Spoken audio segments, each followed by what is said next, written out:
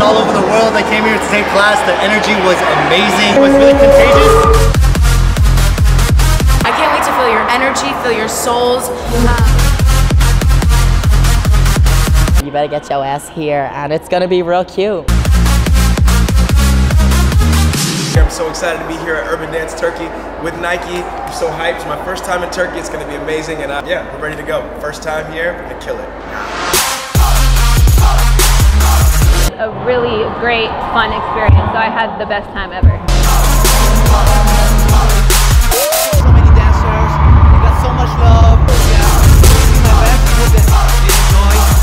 That's what this camp is built off, and it's really gonna change lives for people, so.